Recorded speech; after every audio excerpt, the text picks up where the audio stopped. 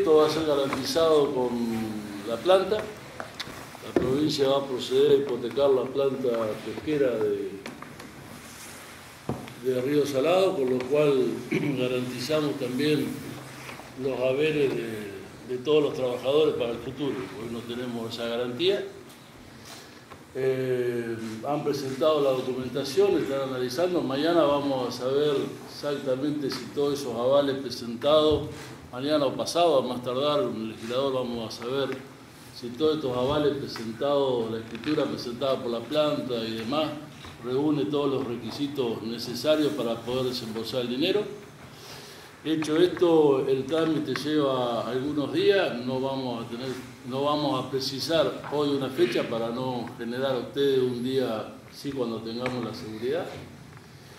Eh, son las cuatro quincenas más otros otros gastos de algunos servicios para que se pongan al día y puedan empezar a, ¿Se puede estimar el monto total del eh, crédito? Es más de 4 millones de pesos, 4 millones y algo máximo es el dinero, como leyó Juan, es el famoso fondo pesquero que tiene la provincia para poder dar y se ha determinado que sea únicamente para sistemas productivos, o sea, para que puedan seguir produciendo y esperemos bueno, que todo esté, esté en orden, como, y como ustedes saben, como ya ha pasado hace dos años, el dinero no va a la empresa, sino que va directamente a cada CBU de los trabajadores, porque la empresa lo único que hace tiene que devolver el dinero, pero no lo utiliza, sino que va directamente a la cuenta de cada uno de ustedes.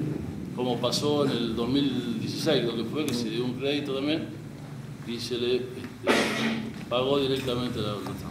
Javier, se habló del día después, digamos, esto es un hasta aquí ahora el día después. Sí, este compromiso, en definitiva, el compromiso que hace la provincia está sujeto a la continuidad de la actividad laboral, digamos. Ningún sentido tiene que la provincia ponga hasta 5 millones de pesos, que ese es el monto máximo financiable, este, si la empresa eh, no, quisiera continuar. Digamos, esto, esto, los que estamos en la mesa, más la gente del gobierno provincial que estuvo en la reunión de hoy, existimos exactamente sobre el mismo punto. Digamos, todo está atado a la continuidad laboral, ¿sí?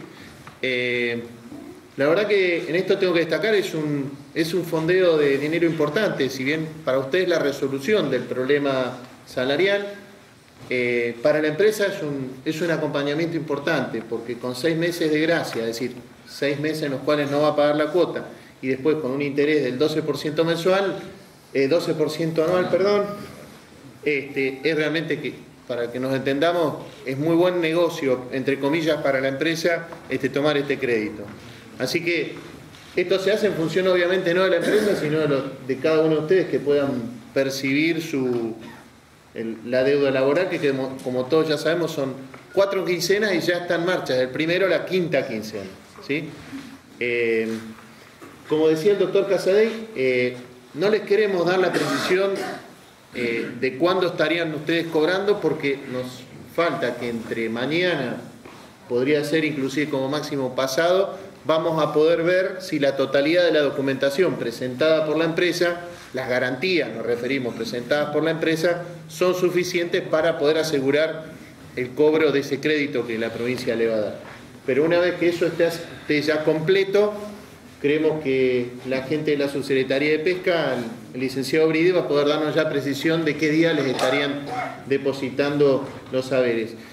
Lo que para ustedes puede ser una ansiedad, que la entendemos de saber cuándo van a cobrar, nosotros también tenemos que ser serios y responsables porque en estos últimos 15, 20 días les han mentido tantas veces que nosotros no queremos hacer lo mismo, aunque, sea, aunque si por fuera, por una cuestión este, burocrática se atrasara uno o dos días, no, no nos gustaría que estemos dentro de la lista de lo que le mintieron en cuanto a los días de cobro. Por eso, Legislador, una pregunta. Estamos hablando del personal de planta, ¿el personal de marinería también va incluido? Lo que se trabaja, bueno, lo dijo... No, no, eh, todos los reclamos que se vienen haciendo, específicamente el Sindicato de la Alimentación, tienen que ver con los trabajadores. ¿Con el personal de planta? Exacto. ¿Y si las garantías son suficientes, qué pasa? ¿Cómo? Garantías que presenta la empresa estaríamos en un problema. Pero estimamos que sí, estimamos que sí porque en realidad lo que están poniendo para explicarlo, no sé si querés vos Adrián, pero es sencillo entenderlo. Eh, la garantía va a ser la planta. Lo que tenemos que cotejar o lo que tiene que cotejar quien va a prestar la plata es mirar si no existen este, otras hipotecas o embargos que excedieran el valor de la planta. Eh, estimamos que va a salir bien, pero eh, ustedes imagínense que hay que mirar bien los papeles para no, comer- no cometer el error de darle la plata a alguien que después no la va a devolver.